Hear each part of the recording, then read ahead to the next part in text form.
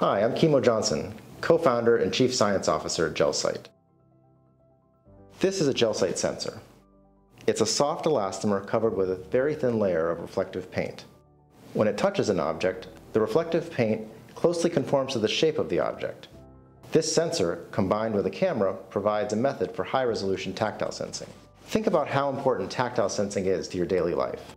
We are touching and manipulating objects hundreds of times per day, and some very important information is only available through touch.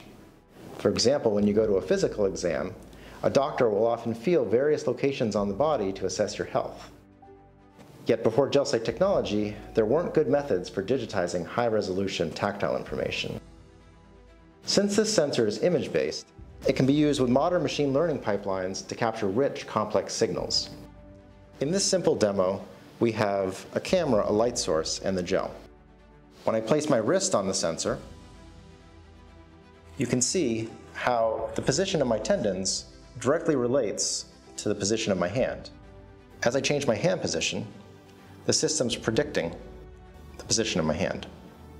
We can use this information in novel applications. For example, we can control a game. While controlling a game is fun, the future applications are much more exciting. You can imagine a version of this technology being able to control prosthetics using gestures from different muscles, or even a more general purpose wearable computer input device. It could also be deployed as a medical device for creating digital records of conditions that are currently assessed by a doctor's hands.